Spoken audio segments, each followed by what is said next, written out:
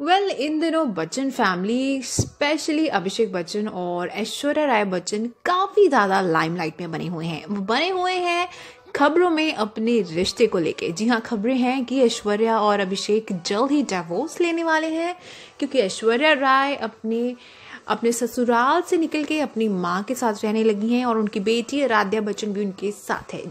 इस खबर को कंफर्म उन्होंने खुद किया जब वो अपनी बेटी के स्कूल फ़ंक्शन को अटेंड करने आई तो अभिषेक और ऐश्वर्या दोनों अलग अलग गाड़ियों में आते नज़र आए।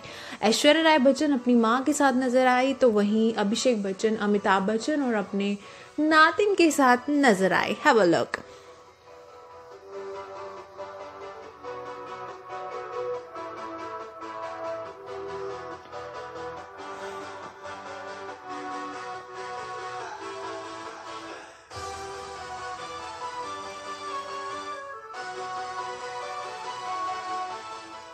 डाइवोर्स को लेके कोई ऑफिशियल स्टेटमेंट किसी ने भी अभी तक नहीं दी है, लेकिन देखने से इस बात में काफ़ी हद तक सच्चाई लग रही है।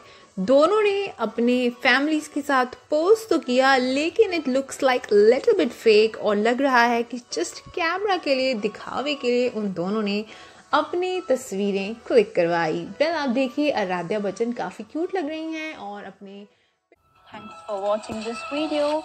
Don't forget to like, comment and share. And also subscribe to our channel for more Bollywood news.